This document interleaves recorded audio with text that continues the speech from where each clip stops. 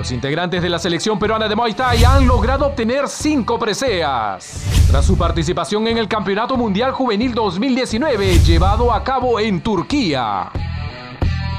Luego de un largo tiempo de entrenamiento, los Thai Boxers pudieron tener un buen lugar en la competencia, teniendo a Catalina Rincón como ganadora de la medalla de plata, mientras que Joaquín Fernández, Tamara Galvez y Eduardo Alarcón se llevaron las de bronce.